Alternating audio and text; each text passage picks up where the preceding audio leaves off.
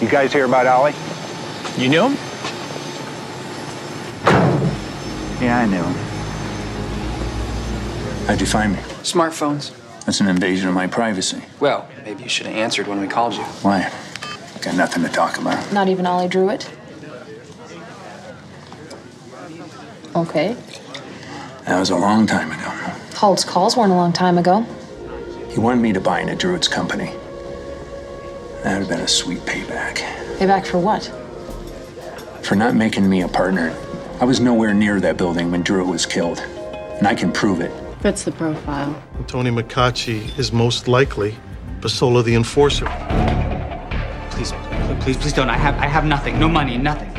No. please, please, please don't kill me. This isn't about money.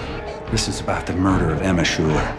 Emma. Oh God. Emma, that was that was an accident. Please, no, that was an accident. Please, please don't. Going somewhere. Hear the joke about the two Irishmen? PR traffic control, let me know we're on schedule. Might get in early. This tailwind keeps up.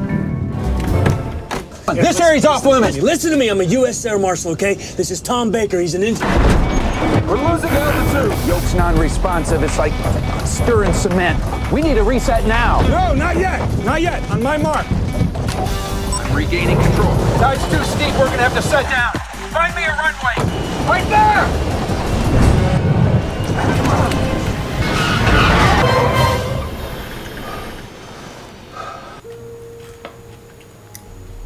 Bill and Martha came into the bank today.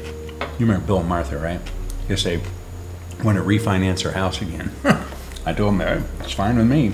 I'll help you out with that. they also said they might want us to have us out to their their place again, maybe next weekend. Hmm.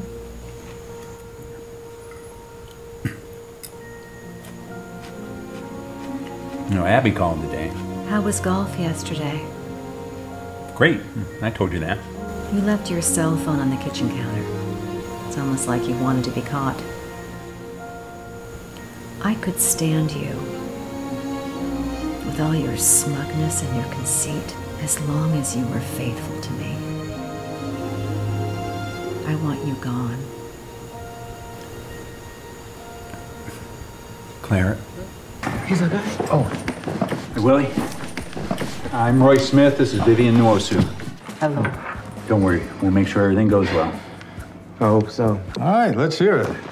Uh, uh, Your Honor. Uh, Your Honor, just to try- refresh your memory, the accused, Mr. Adagoke, was deemed a flight risk. Your Honor, I just wanted to.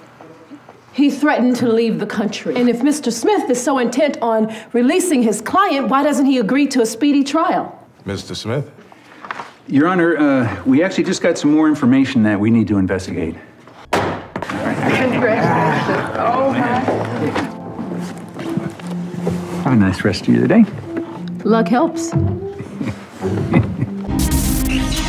We have an epidemic on our hands. Every 65 minutes, we lose one American hero. Too many are losing hope and taking their own lives. War changes us. For generations, brave men and women have taken an oath to protect the United States of America, the land of the free, because of the brave. Just us. All right, you shithead.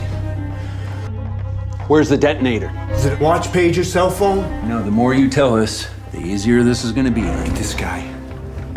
No way he planned this on his own. Do I have your attention now?